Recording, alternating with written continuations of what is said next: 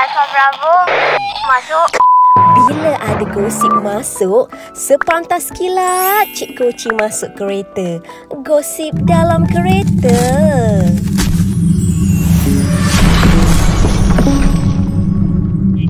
Like dan share tau.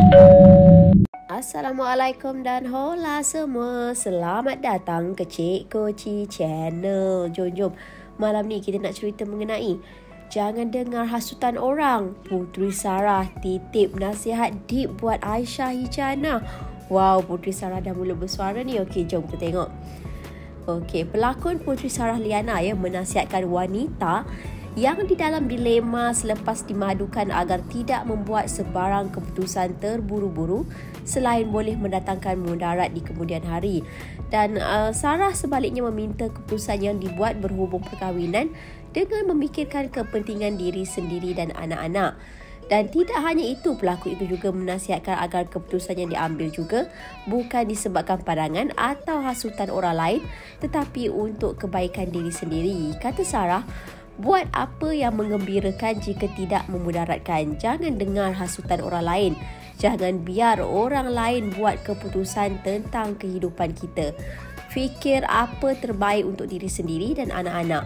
Allah sentiasa ada dengan awak. Begitulah kata uh, Putri Sarah. Dan Sarah berkongsi mengenai perkara itu menerusi IG miliknya dan bekas isteri pengarah Syamsul Yusof itu mengulas perkara tersebut selepas mendapat banyak mesej peribadi dipercayai memintanya meluahkan pendapat berkenaan isu melibatkan pasangan personaliti media sosial Alif Tega dan Aisyah Hijana.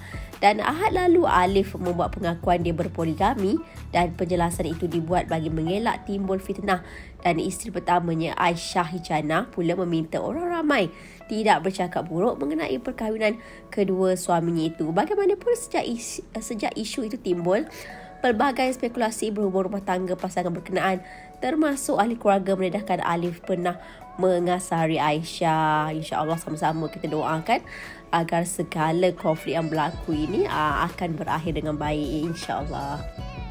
Dari subuh, Cik Koci bagi gosip terbaik semestinya dalam kereta.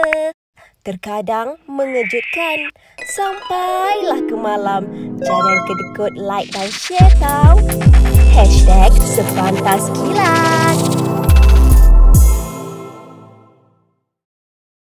Dah habis tengok semua? Cik Koci nak pesan sikit boleh tak? Kita yang kita dengar bersama ni tak tahu kesahihannya. Jadi perlu berhati-hati sebab Cik Koci pun petik dari media-media hiburan tempatan.